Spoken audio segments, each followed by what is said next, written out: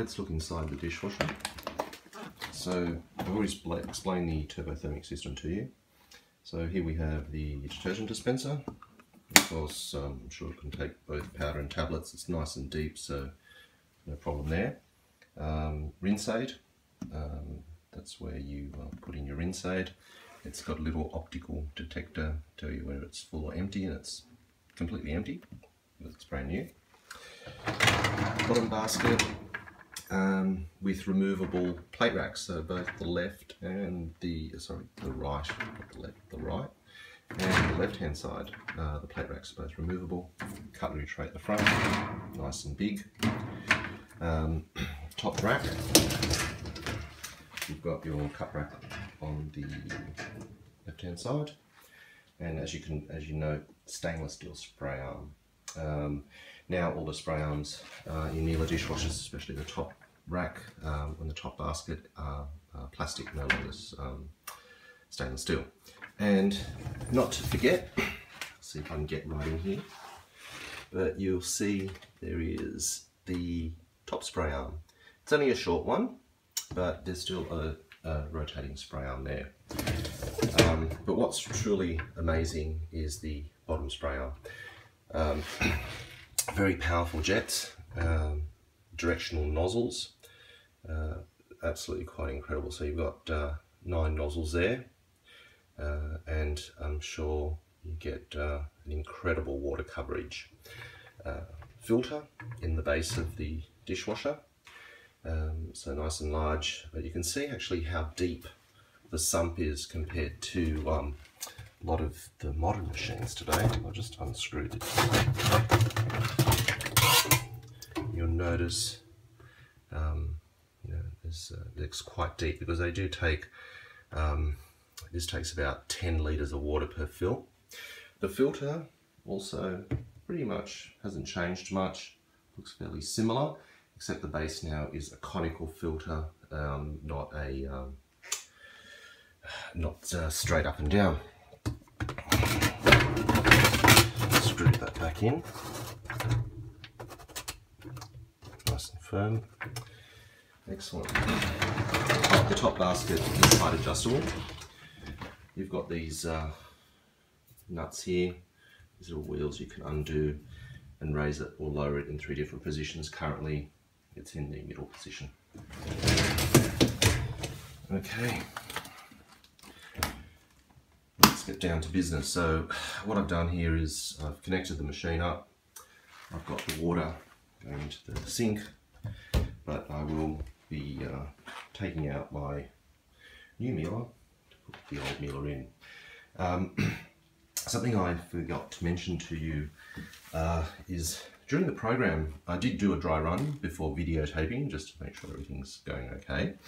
Um, but what I noticed is that at the end of the main wash, the machine actually partially empties with water. So I reckon from what I noticed, probably over a few litres of water is drained and fresh water is taken in. So it seems like it does like a bit of a cool down rinse or um, dilution wash, which is quite interesting. Um, Miele did this way back um, in their predecessors as well. So they obviously kept it in there. Not that they explain it in the instruction manual, but I did notice um, that going. So what I'm going to do is I'm going to run a universal program. Um, today I'll run the Universal 65. Um, mind you, this machine is not the quietest. Um, look, it is standing in the middle of my kitchen, but um, let's start her up. Oh, I better switch her on first before I start her up.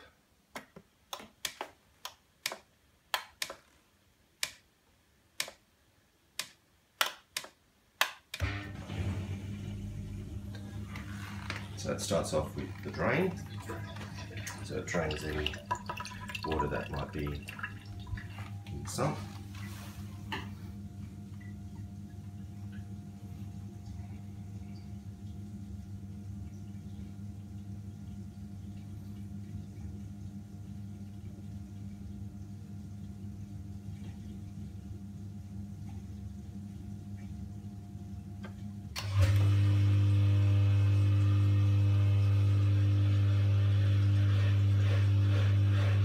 Pump starts up straight away as the water's coming in.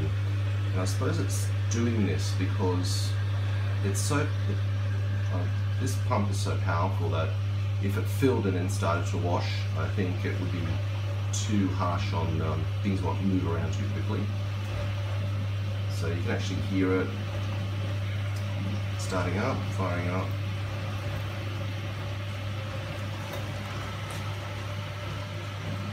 Last time I checked, the um, the pre-rinse isn't very um, very long.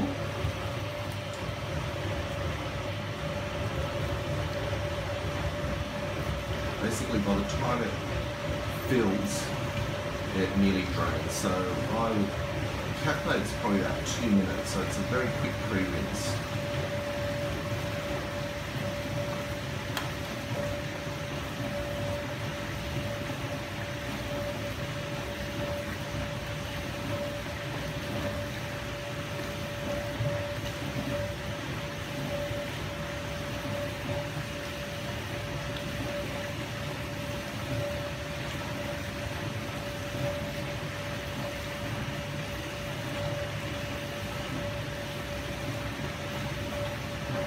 You can actually hear it sloshing away.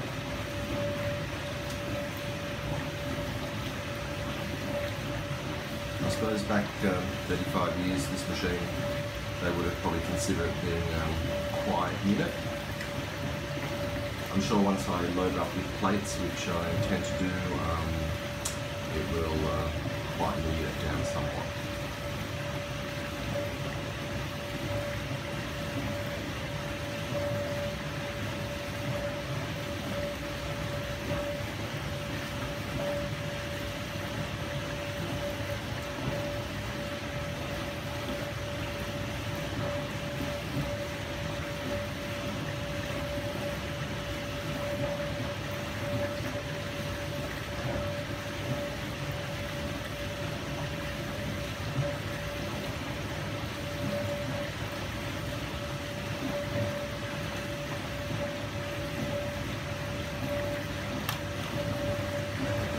There we go.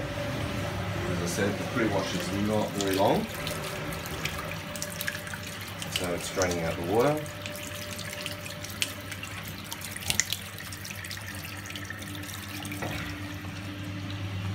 In all intensive purposes for this exercise, I've connected this machine to hot water, um, simply because um, it uh, does use a lot of water um, and the heat up time would be longer. Uh, so I've connected to hot water. So it does make the cycles relatively shorter, um, but I'm sure it wouldn't um, impact on the cleaning results. My hot water system is about set at 55 degrees Celsius. Um, and anyway, the pre-rinse, it would just purge some of the cold water in the pipe anyway, um, before getting onto the main wash.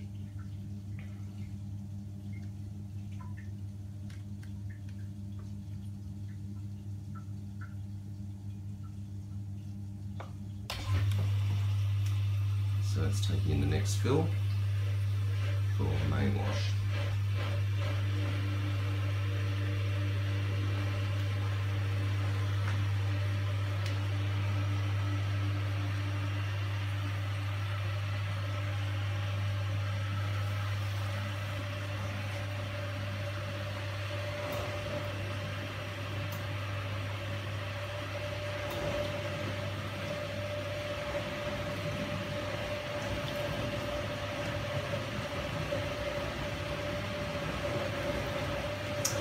From the uh, brochure that I have somewhere hidden away in my um, archives, um, the pump circulates 10 litres of water um, every three seconds. So it is a very powerful pump. Um, so if you calculate that in how many litres per minute, um, it would be quite considerable. Um, so it is a, a very powerful